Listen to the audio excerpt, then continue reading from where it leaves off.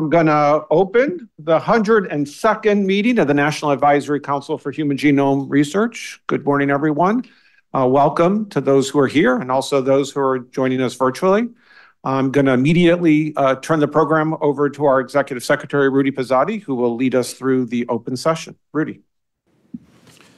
Thank you, Eric. Good morning, everyone. I want to remind the council members that this meeting is being live streamed and there is a recording that is being made and will be kept along with all previous open session council meetings dating back to, I think, 2011 or thereabouts. So uh, that'll keep you honest, uh, but will also allow the community to go back and review any of the discussions that we have today at the council. We have four new council members joining us. This is their initial meeting, and I'd like to introduce them uh, to the other members of the council. We're going to start with Katrina Armstrong. Dr. Armstrong wears many hats. She is the Chief Executive Officer of Columbia University's medical campus, which includes the Vagelos College of Physicians and Surgeons, the School of Nursing, the College of Dental Medicine, and the Mailman School of Public Health. She is also the Executive Vice President for Health and Biomedical Sciences and the Dean of the Faculties of Health Sciences and the Vagelos College of Physicians and Surgeons. And Katrina, how many fires erupt on your desk every day? That's quite impressive. Dr. Armstrong earned an undergraduate degree in architecture from Yale University then an MD degree from Johns Hopkins and a master's degree of science in clinical epidemiology from the University of Pennsylvania. Katrina is an elected member of the National Academy of Medicine, the American Academy of Arts and Sciences, and the American Society for Clinical Investigation. Dr. Armstrong's research interests have focused on health disparities and the social and economic factors that affect the dissemination of approaches and technologies that will improve cancer outcomes among Native American populations, and BRCA1 and 2 testing in African American women. She's received a dozen awards from NIH, predominantly from the National Cancer Institute and the National Institute for Minority Health and Health Disparities, and she has a commendable record for peer review service to NIH. Welcome, Katrina. Uh, next, we welcome Kelly Frazer. Dr. Frazer is professor and chief of the Division of Genome Information Sciences in the Department of Pediatrics at the University of California, San Diego. She is also the director of the Institute for Genomic Medicine at UCSD. Dr. Frazer did her postdoctoral work at the University of California, San Francisco, and then spent several years at Perligen Sciences, where she was involved in the development of array based genotyping technologies to identify genetic variations among samples in high throughput formats. Kelly was involved in some of the earliest studies looking at cross species DNA sequence comparisons between human and mouse, and she played a major role in the development of the HapMap resource. Recently, Dr. Frazer's lab has assembled a resource of over 220 induced pluripotent stem cells derived from individuals that are racially and ethnic, ethnically highly diverse. Whole genome sequence data and multiomics data sets have been generated from these lines, enabling functional studies to be performed. Dr. Frazer has an impressive funding record, having received awards from multiple NIH institutes, including the National Eye Institute, the National Cancer Institute, the National Institute of Drug Abuse, the National Institute of Diabetes and Digestive and Kidney Diseases, and NHGRI.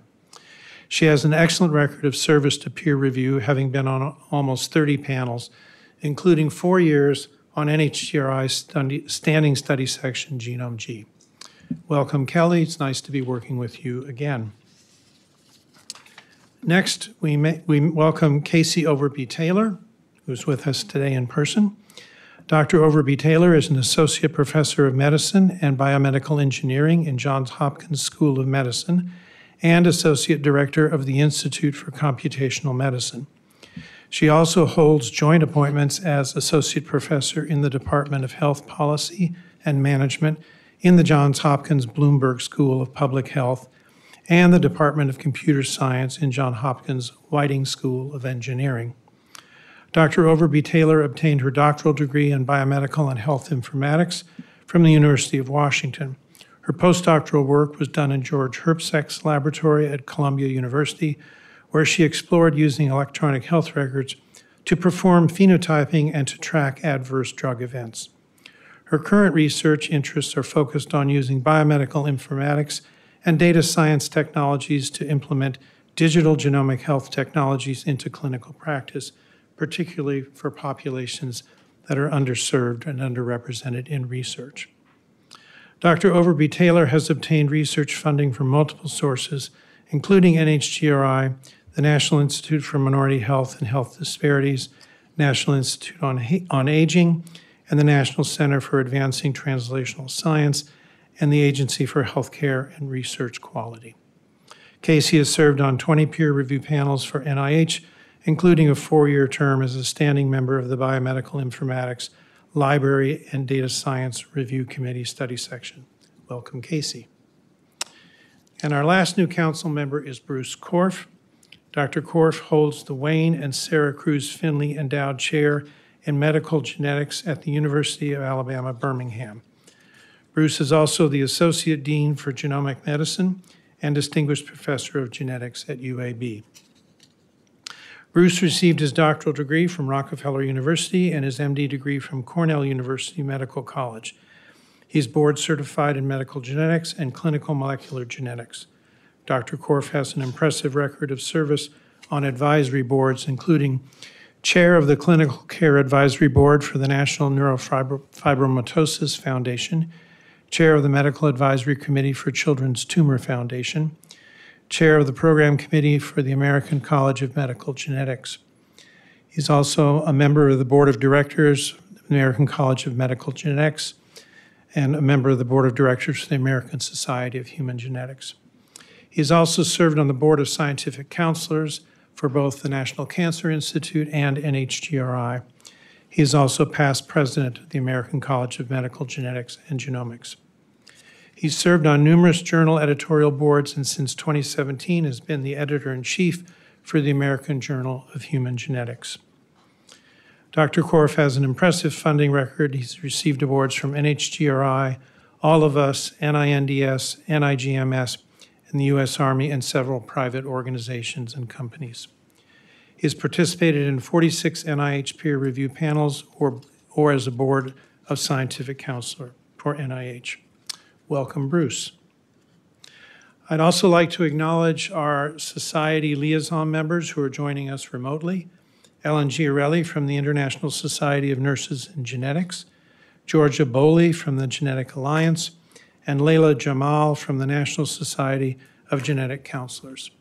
There are two brief reports from the National Society of Genetic Counselors that were sent to us recently. If you follow the activities of this organization, I recommend these reports to you. Council members can find them in the electronic council books, and the public can find them linked to the council webpage on the NHGRI website. I also want to acknowledge Jake Baroche, sitting at the end of the table, program analyst at NHGRI. Jake will be our minute taker today, and he will be responsible for preparing the minutes report for today's meeting. Council members, I seek your approval of the February 2024 council min- minutes. Uh, Are there any comments, uh, edits, or corrections that need to be made? Okay, can I get a vote? Thank you, Lynn. And seconds, all in favor, everybody loves the minutes. Thank you very much. Future meeting dates. On the open session agenda, there are the six next council meeting dates. Please make sure these are on your calendars and let me know if there are any schedule conflicts.